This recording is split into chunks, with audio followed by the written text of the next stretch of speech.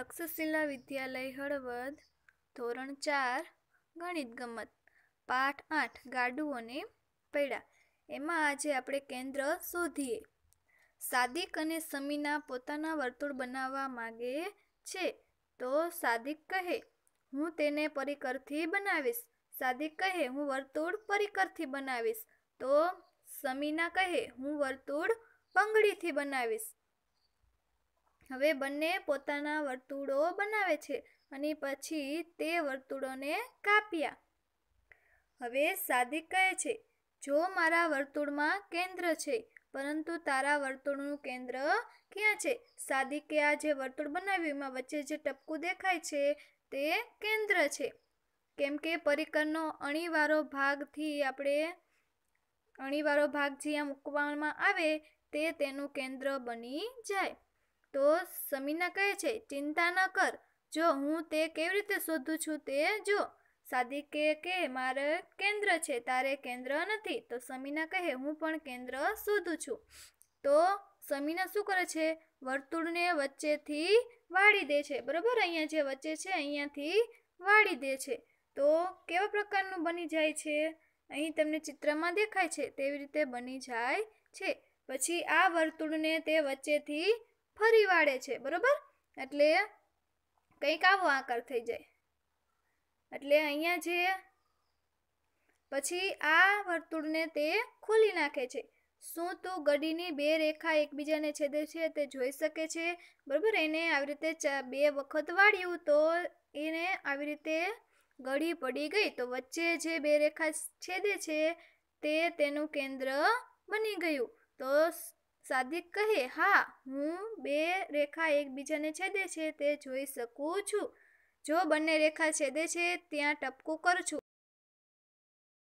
છે. તો જો તમને વર્તુળનું કેન્દ્ર દેખાય છે, બરાબર? તો બંગડીની મદદથી દોરેલા વર્તુળમાં આપણે આવી રીતે કેન્દ્ર શોધી શકીએ.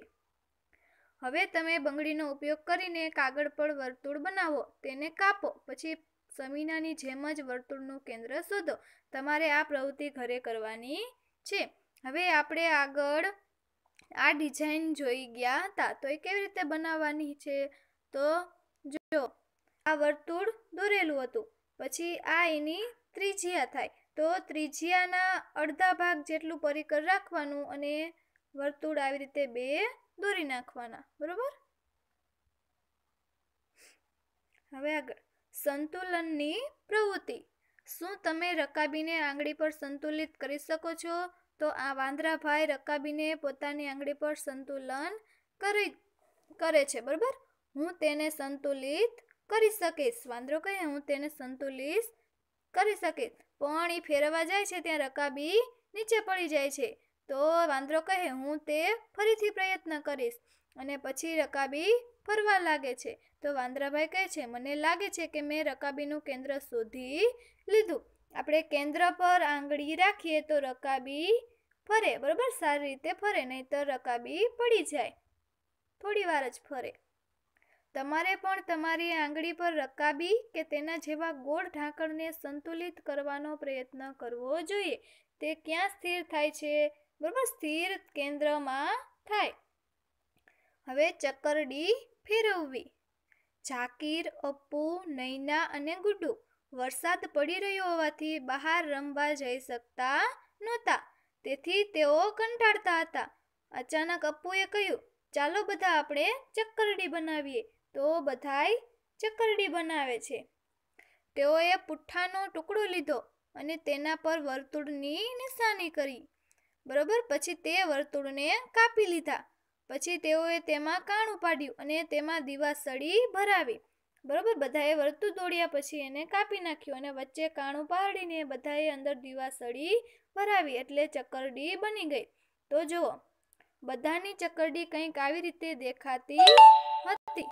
તો ઝાકીરની ચક્કરડી અપ્પુની, નૈનાની અને ગુડ્ડુની ચારેની ચક્કરડી કંઈક આ પ્રમાણે દેખાતી હતી. તો આના ઉપરથી આપણે પ્રશ્નના જવાબ લખીએ. તો પહેલો પ્રશ્ન, કોની ચકરડી બિલકુલ ફરશે નહીં? તો જુઓ, કેન્દ્રમાં જેની સળી ન હોય તેની ચકરડી ફરે નહીં. તો અપ્પુની પેલા નૈનાની અને ચાકીરની આ બંનેનું કાણું એટલે કે કેન્દ્ર વચ્ચે આવેલું નથી, બરોબર? તો ઝાકીર અને નૈનાની ચકરડી બિલકુલ ફરશે નહીં.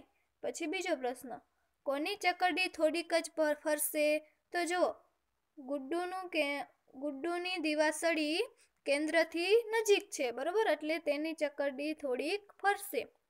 કોની ચકરડી સૌથી સારી ફરશે? તો જો, અપ્પુની દિવાસળી એટલે અપુએ કાણું કેન્દ્રમાં વચ્ચોવચ્ચ જ પાડ્યું છે, એટલે અપ્પુની ચકરડી સારી ફરશે. કોની ચકરડીમાં દિવાસળી કેન્દ્રની સૌથી નજીક છે? તો જો, અપ્પુની ચકરડી કેન્દ્રની સૌથી નજીક છે. હવે જાતે ચકરડી બનાવો. તમે પણ તમારી પોતાની ચકરડી બનાવીને આ રમત રમો. સારી રીતે ફરી શકે તેવી ચકરડી બનાવવા તમે ક્યાં કાણું પાડશો તો કે કેન્દ્રની સૌથી નજીક અથવા કેન્દ્રમાં?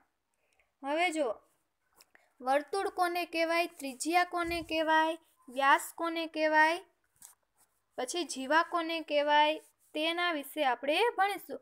તો પહેલાં તો વર્તુળ કોને કહેવાય? તો કે સમતલમાં કોઈ નિશ્ચિત બિંદુથી અચળ અને ઘન અંતરે આવેલા બિંદુઓના ગણને વર્તુળ કહે છે. બરાબર? આ કોઈ નિશ્ચિત બિંદુ. એટલે કે કેન્દ્રથી. આ કેન્દ્રથી કોઈ અચળ અંતરે આવેલા આ બિંદુઓના ગણને વર્તુળ કહે છે. બરાબર? તો આને શું કહેવાય? વર્તુળ કહેવાય. હવે ત્રિજ્યા કોને કહેવાય. તો જો આપણે આ વર્તુળ બનાવ્યું છે, એના કેન્દ્રથી અહીં સુધીના અંતરને ત્રિજ્યા કહેવાય. તો આની વ્યાખ્યા કેમ લખવી? તો કે વર્તુળના વર્તુળના, આ વર્તુળના કોઈ પણ અંત્ય બિંદુથી કેન્દ્ર સુધીના અંતરને ત્રિજ્યા કહેવાય. પછી જો હવે વ્યાસ કોને કહેવાય. બરાબર? વ્યાસ કોને કહેવાય? તો આ વર્તુળ છે, બરાબર? તો અને આ કેન્દ્ર છે. તો વ્યાસ કોને કહેવાય? તો કે કેન્દ્રમાંથી પસાર થતી જીવાને, બરાબર? કેન્દ્રમાંથી પસાર થતી આ જીવાને વ્યાસ કહે છે. તો કે જીવા કોને કહેવાય? તો આપણે જોવી, જીવા કોને કહેવાય? તો આ વર્તુળના કોઈ પણ કોઈ પણ બે અંત્ય બિંદુ વચ્ચેના અંતરને જીવા કહે છે. બરાબર? આ કેન્દ્ર છે. આ કેન્દ્ર છે. તો કોઈ વર્તુળના કોઈ પણ બે બિંદુ હોય એ વચ્ચેના અંતરને જીવા કહેવાય. પણ જે જીવા આ કેન્દ્રમાંથી પસાર થતી હોય, તો એને વ્યાસ કહેવાય. બરાબર? હવે આ પાઠ આપણે અહીં પૂર્ણ કરીએ છીએ.